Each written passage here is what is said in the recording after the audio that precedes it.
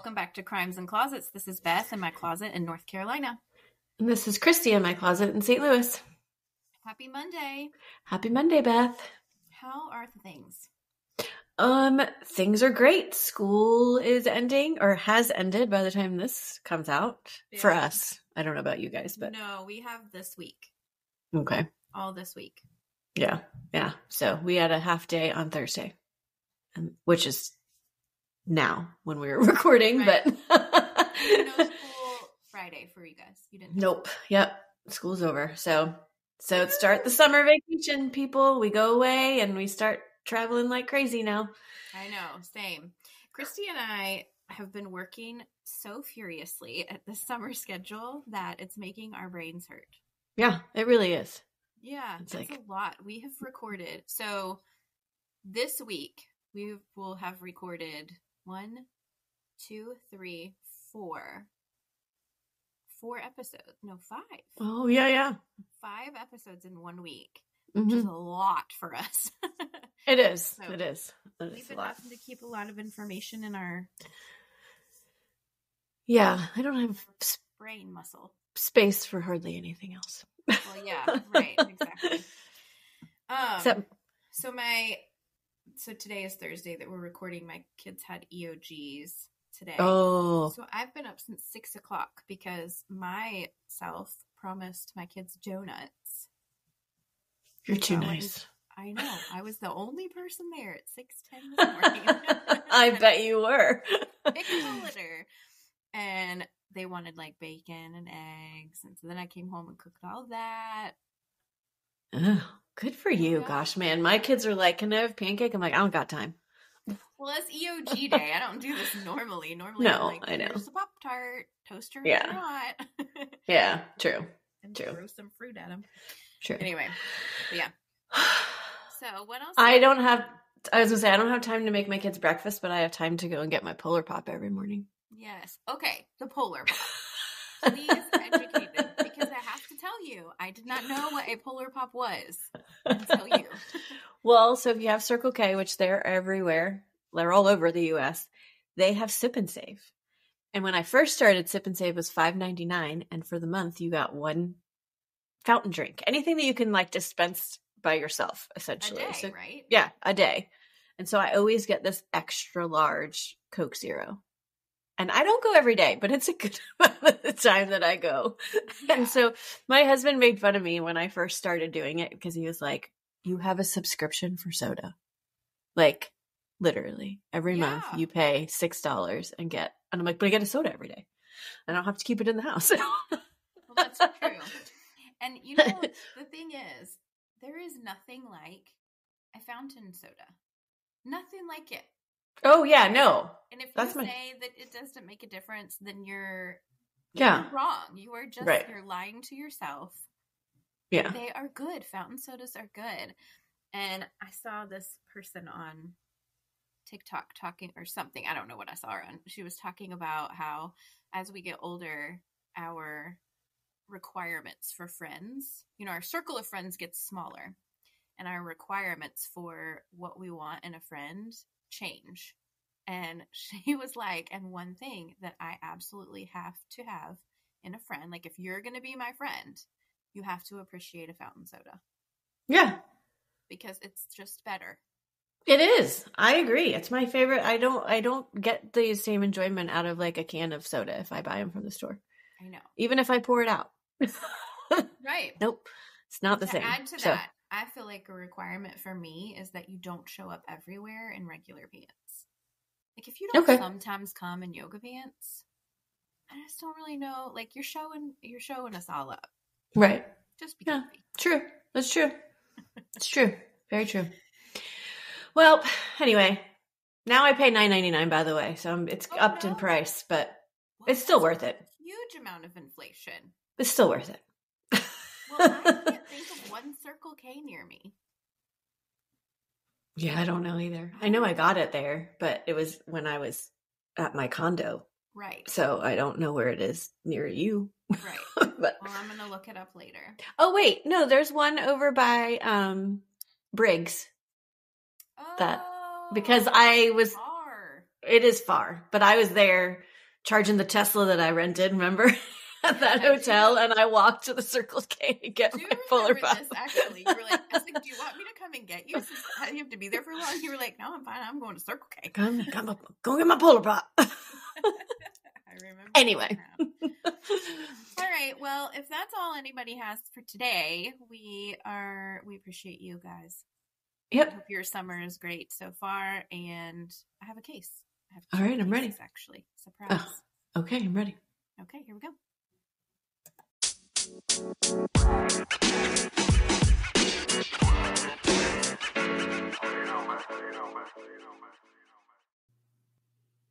Okay, today's episode, I am doing things a little bit differently.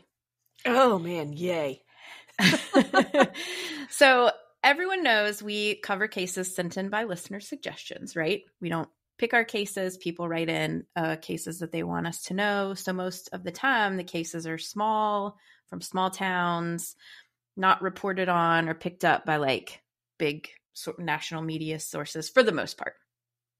And the bad thing about that is sometimes there's not very much information out there on them, which we run mm-hmm. into quite often. And so it's hard to make an entire episode, which bums us out because their stories still need to be told. So I somehow have found myself in a situation with a whole bunch of these small cases. So I decided I was going to put two together for Okay. one episode. So I'm going to tell you two crimes today. All right. It's a twofer.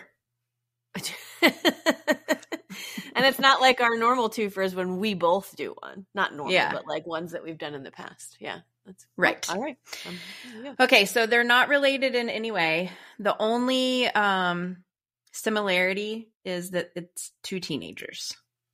Oh, Okay. So we're talking about two teenage girls. So this these are the cases of Sidnee Stephens and Carol Deleon. Didn't we do another De Leon, by the way? Yeah. Um. Oh my gosh, why can't I remember her first name now? She's the one that we talked about on mm-hmm. another thing. That we. Mm-hmm. right. Stay tuned for that later. Um, anyway, okay. No relation, I don't think. But first, I'm Mhm. going to tell you about Sidnee Stephens. Okay. It's the first case we're going to talk about. Okay. So this case was sent in by my older sister, Laura. Oh, hey, Laura. Hi, who is more true crime obsessed than we are, honestly.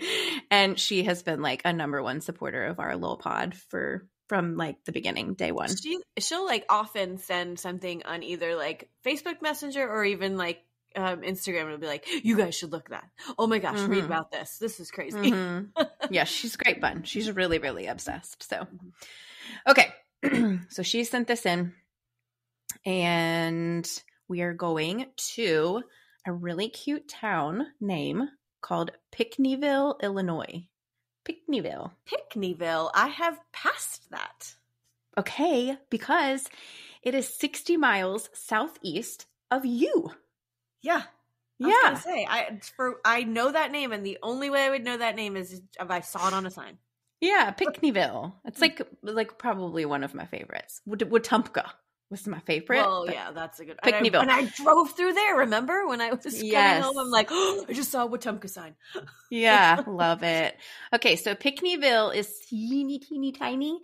The whole entire town is only 4.3 square miles, Oh, and it has a population of just over 5,000 people. okay. And it looks real cute. Okay, Sidnee Edith Cheyenne Stephens was born May 15th of 1995 in Murphysboro, Illinois. So this would make her a Taurus. Stable, hardworking, like, have we ever talked about a Taurus before? I don't think so. know. I'm sure we have.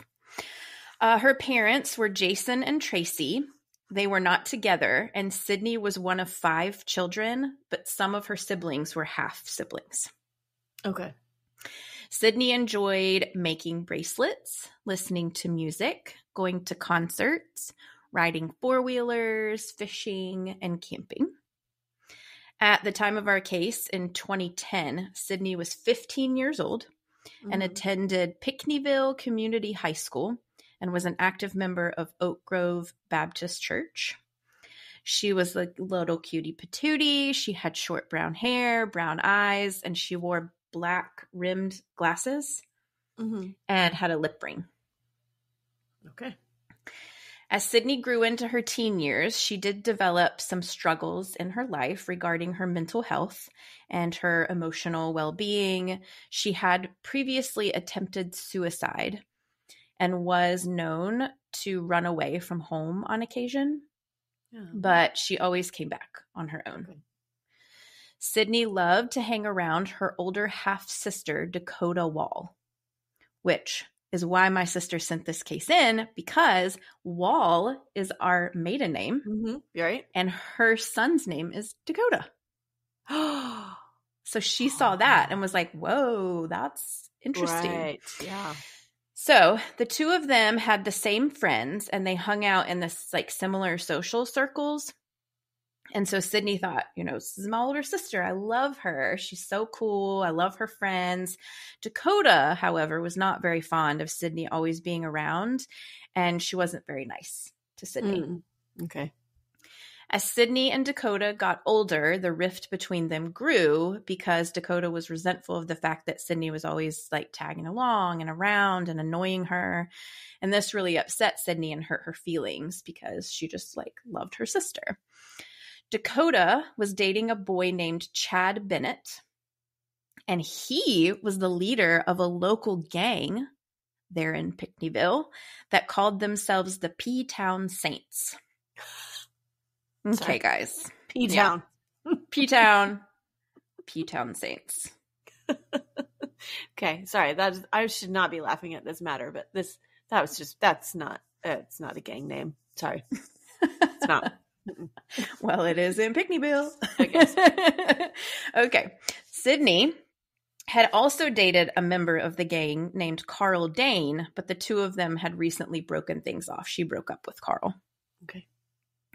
On July 19th, 2010, Sidnee went missing. I do not know the circumstances in which her family became aware that she was no longer there. I just know that they tried to find her, couldn't get a hold of her. Her friends and family didn't know where they lived. And Sidnee would go back and forth between mom's house and dad's house. And there were a lot of siblings, you know, intermingled in there. And so they didn't know where she was.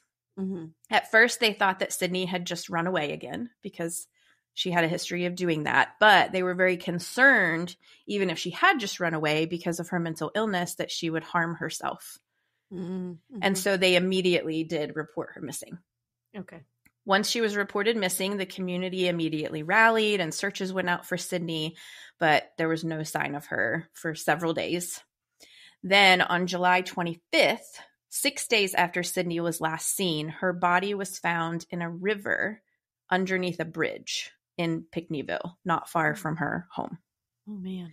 Two fishermen had spotted Sidnee's body and immediately recognized her lip ring and a necklace that she was wearing from the missing person flyers Mm. and her photos. At first, suicide was suspected because of Sidnee's history and because she was found under a bridge. Hmm However, Sidnee had suffered multiple gunshot wounds that were determined to not have been self inflicted. So her death was ruled a homicide. So police began questioning Sidnee's family and friends, all of whom denied knowing or being involved in Sidnee's murder.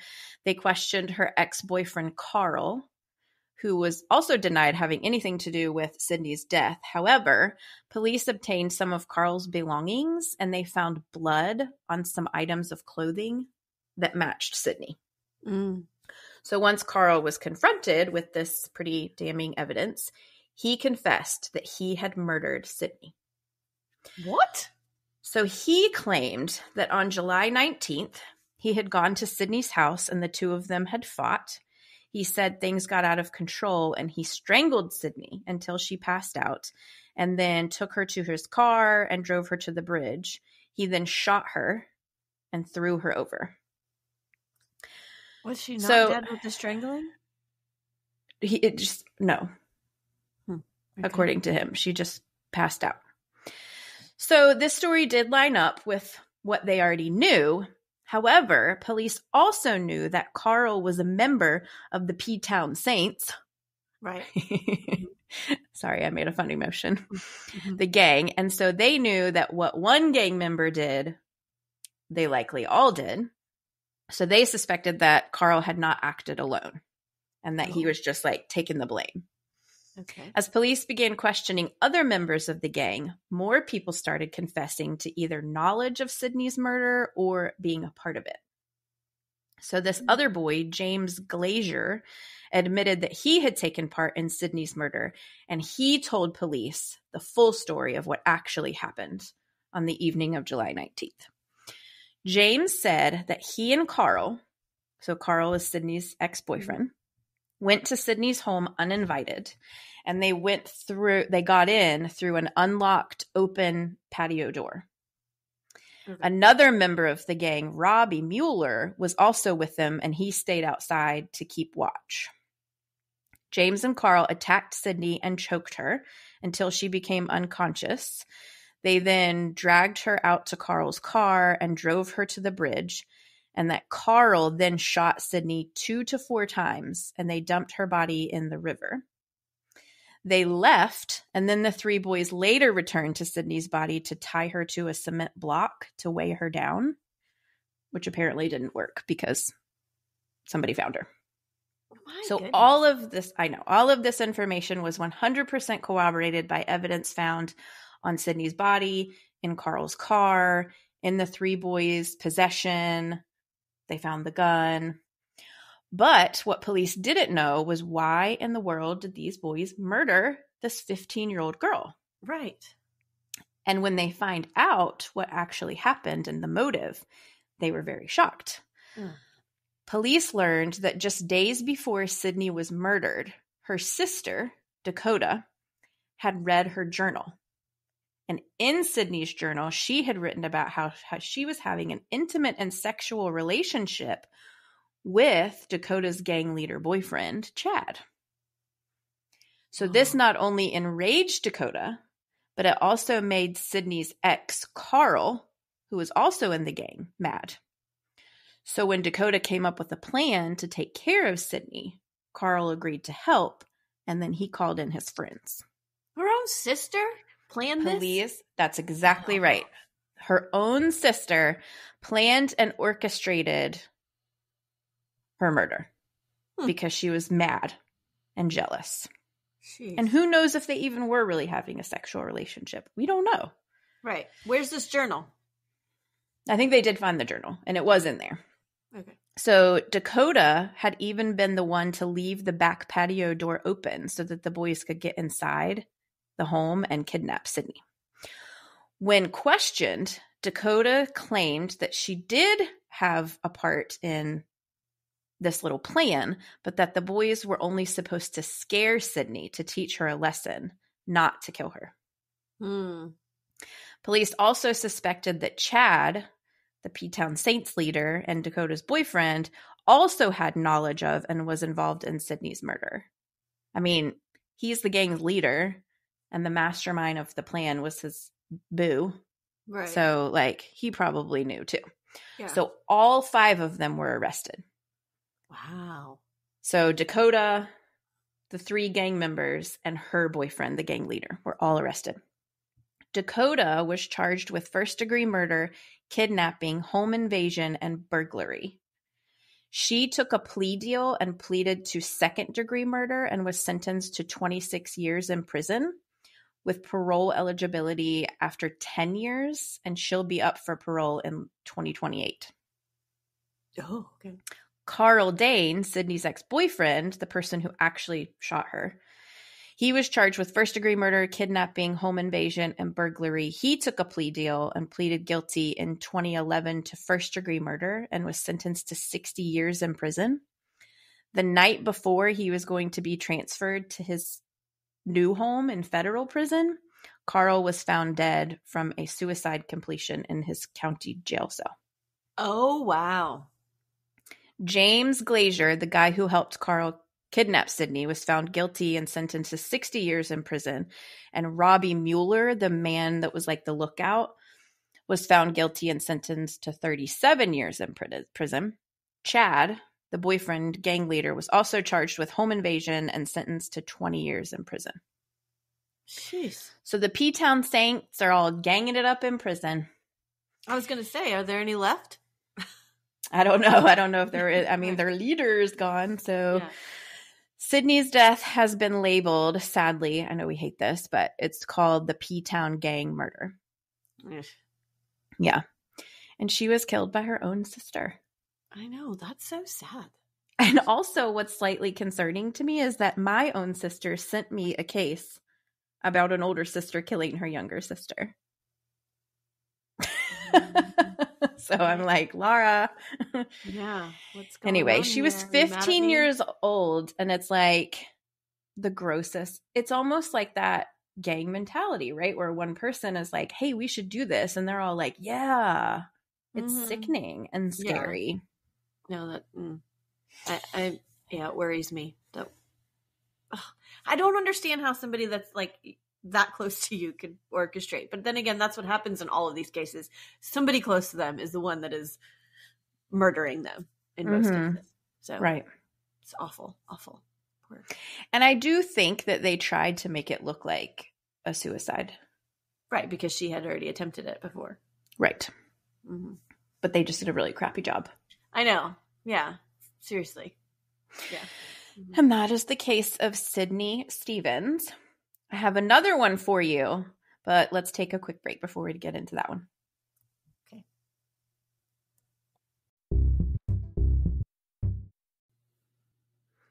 The next case that we are going to talk about today is extremely interesting. And so I had to get it in here somehow because it is crazy. You save the best for last. I did. Yes, we're going to end on a little bit of a higher note. Okay. okay. Um, still sad, terribly Okay. sad murder. Okay, this was sent in by our listener Amanda.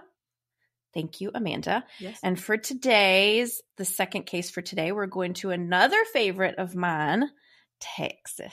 oh, I was gonna say, is it Texas? Yeah, San Antonio to be exact. Ooh. This is the case of Carol Deleon. Okay. Do you remember the name of that other one? That's no I relation. Thinking about it. Okay. It's okay. Carol Joyce Deleon was born on February 18th of 1963 in the Texas. This makes her an Aquarius. Okay. I love Aquariuses. They're so optimistic. Oh, are they? They're like, yes, it's like one of the it's a nice sign. What? I'm sorry. What? What? What month is that? I, February 18th is her birthday. Okay. Carol's parents were Rodolfo and Ramona, and she had a younger sister named Sandra. I'm not sure she had any other siblings, but I know she had that sister. Mhm.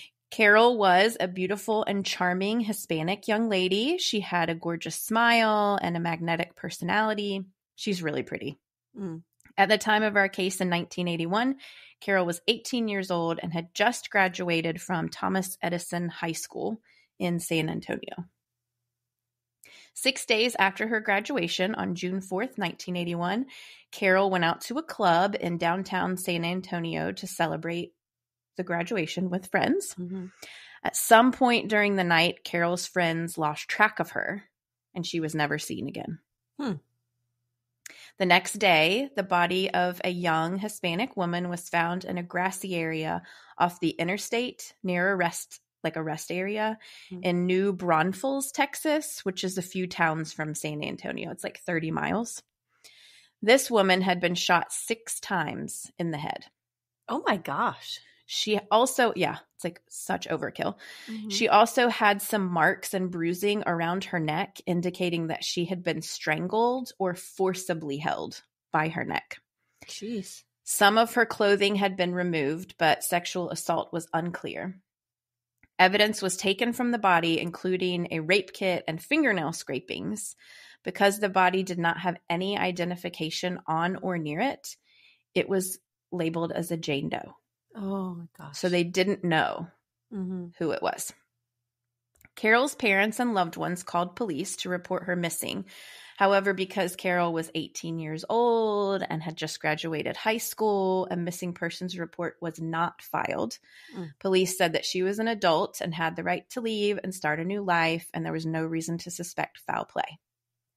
Because a missing persons report was never filed, police never connected that the body they had just found, murdered 30 miles away the day after Carol was last seen and completely matched her description, they did not connect that it was her.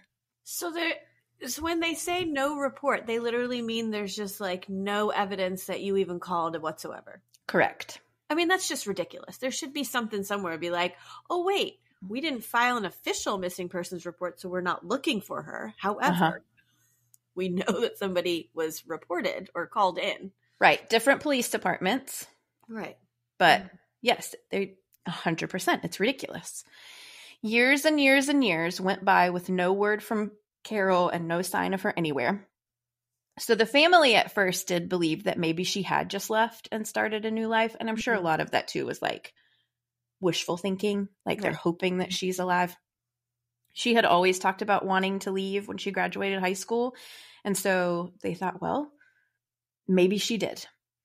Although, and it's very odd of her to just up and leave like that. That wasn't like the type of person that she was, but Right. they're thinking, well, maybe she did. And maybe one day she'll come home, she'll contact us. Yeah. I mean, because I was going to say that my oldest basically is like, I can't wait to move out when I'm 18. But I Mhm. really hope that he's just like, bye, I'm moving out. Not yeah, right. Not just disappeared. he's disappeared. Well, and the circumstances of her of her leaving, it's like she went to a club and then decided that night to just never come home. Right.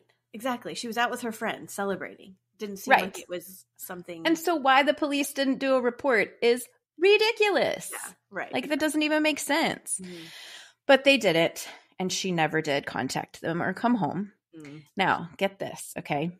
In 2007, Mhm. 26 years of not hearing from Carol, her sister, Sandra, decided that she was going to file a missing persons report. She was like, Look, at this point, I don't care if she wants to be found or not. I want somebody to be looking for her Okay. like if she has been missing for 26 years and she also wanted because of this whole you know these new programs unsolved crimes and missing persons things that are in place which i'm going to talk about actually she thought well maybe there will be a sign of her somewhere Mhm, mhm, along the way. So she wanted to have something official on file even though it was 26 years later. So this time the police did take the report and it went into their system in 2008, the Texas Rangers Unsolved Crimes Investigation Program was looking into unsolved murders of John and Jane Does. And they began looking into the young Hispanic Jane Doe found shot on the side of the road in 1981. mhm. They searched missing persons reports from that time frame and came across Carol's that had just been filed a year before that. Right. Mm-hmm. Carol matched the age and the description of this Jane Doe. So in 2009, they contacted Carol's family and brought them in. After viewing autopsy photos of this Jane Doe, they positively identified her as Carol Deleon, and that was later confirmed by DNA testing. Wow. 28 years later, Carol's family were finally able to lay her to rest. Wow. Wow. However, they were heartbroken because at the same time, they had also just learned that Carol had been dead all of those years, that she was murdered, and that they had no idea who had killed her or why. Right. They lost all this time. I mean, the investigation, like, because clearly they just dropped the ball, the police. And and also, Mhm. where was she? She was probably buried in some anonymous grave. She was buried in the town that she was found, that new Braun Braunfels or whatever, Okay. as a Jane Doe, though. Right. Yeah. Yeah. Gosh. Yeah. So, this unsolved crimes investigation program was on the case now, and mm-hmm. they fully intended on keeping the ball rolling and solving Carol's murder. I freaking love Texas. I love Texas. I say it all the time. I love it. In 2010, the fingernail scrapings taken from Carol's body were sent in for DNA testing. Forensic speciali- specialists were able to create a full DNA profile. However, the profile did not match anyone in CODIS. So Carol's case went cold again. So this person didn't murder again? Apparently, well, or they weren't caught if they did. Oh, that's true. In 2019, a new program circled back to it. This program is called the Texas Sexual Assault Kit Initiative and is funded by the Department of Justice. Another sample of DNA was collected and tested from Carol's body. It does not say specifically what that sample was, but I'm thinking that it had something to do with a sexual assault kit because Mhm. that's the name of the program. Mm-hmm. So, that DNA profile that was that they took the second one also matched this DNA profile from the fingernail scrapings. So, they knew 100% whoever killed her, this we have their DNA. Mm-hmm. So, they sent that DNA profile to genealogy for testing. I knew it. I knew it. Yes. that took a couple of years, but in 2021, the genealogy results came back and had identified profiles for three possible persons of interest. Okay. So they traced it back to three men that could have possibly been matched to the DNA. Mm. All three of these men were questioned and claimed to have never met or seen Carol and that they had nothing to do with her murder, but they all voluntarily gave DNA samples. In April of 2023, Whoa. so like, yes, yesterday. yesterday, yesterday, yesterday, my dude, the results from the samples taken from those three men came back and they got a match to the DNA profile found on Carol's body and under her fingernails. The profile matched a 68 year old man named Larry Allen West. Larry lived in Texas and he would have been 28 at the time of Carol's murder. So when police originally questioned him and he gave them their DNA sample, he told them that back in 1981 he often went to bars in and around San Antonio to meet and pick up young Hispanic women. So he was already on investigators' radar as being Carol's murderer. He's like, yeah, I probably picked her up and had sex with her. Well, no, he said that he didn't ever meet her and that Oh. he had nothing to do with her, but but you know, he just happened to hang around in that area looking for people that were exactly like her. So there is a 1 in 422.1 quintillion chance that the DNA belongs to anyone other than Larry. Hmm. So on April 13th of 2023, yesterday, Larry West was arrested at his home in Converse, Texas and charged with the first degree murder of Carol Deleon 42 years after her murder. That's so That's crazy. Crazy, how- right?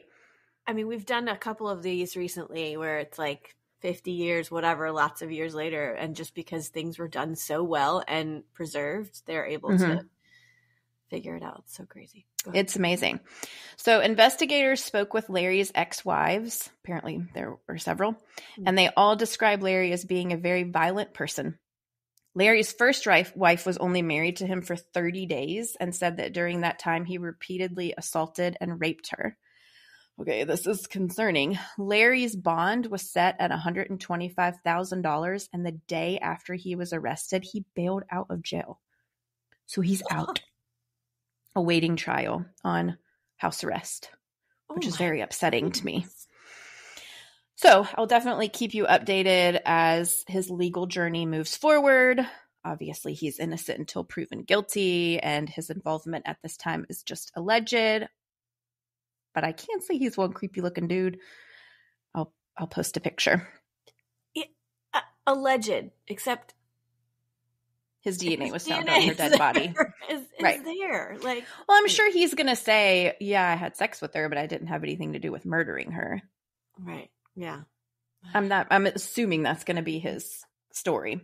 Mhm. So, obviously, I hate that Carol was so brutally murdered and that she went without a name for Mhm. such a long time, for so many years. But this case is fantastic in that it really shows how far we've come Mhm. in crime. Like, it makes me hopeful because if you think we've gone from in 1981 not even taking a mis- missing persons report to now 2023 having all these programs and units and genealogy specialists and all this stuff that work relentlessly to Mm-hmm. try to solve these cases even cases that have been cold for more than 40 years like they're not Mhm. letting them go and it gives me hope Mhm. like you can't just be murdering people and not get caught we're going to find you Yeah.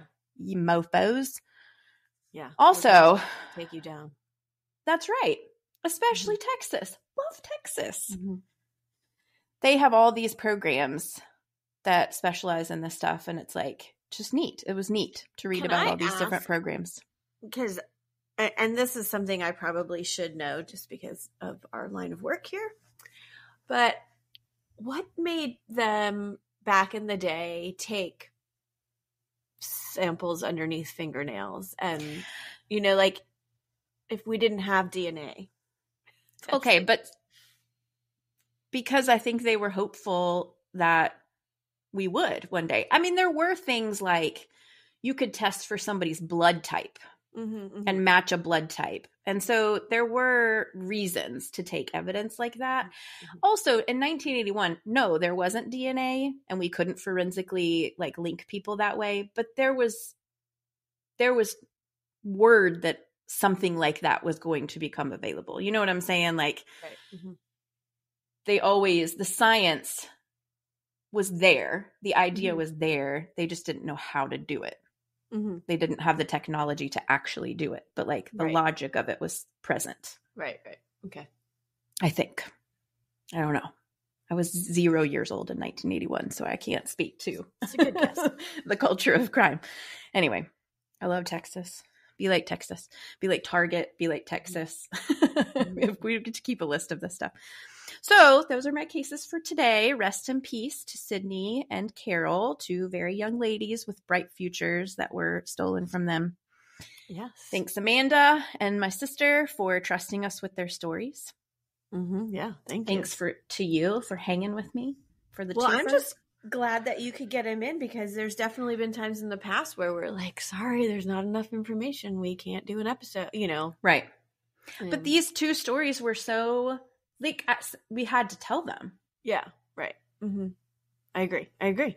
I'm glad that Yeah. you did it the way you did and got it in. And Yeah. I'm glad Texas is so great with how they investigate things that we can solve a murder 40 Mhm. something years later. Yeah. So- Pinckneyville Also- did good too. Oh well, yes, Pinckneyville is good. Yeah. Gosh, there's something else that like, I was when you were telling that story. I was looking at where it was on a map and kept thinking, "There's another link to there." Like somebody, I thought maybe somebody I knew was from there, Pinckneyville? but I don't think it is. I think it's too far south. But anyway, I'll have to figure that out. Anyways, yes, Pinckneyville. Mm-hmm. Yeah. Anyway, um, thank you so much for telling those stories. Also, Sarah De Leon. That was the name of the. Oh, Sarah, yes. Oh my gosh. In It where was here. she? Well, It- oh. those two cases were she was in Kansas City, Okay. and then the then remember when we crossed over and Yes.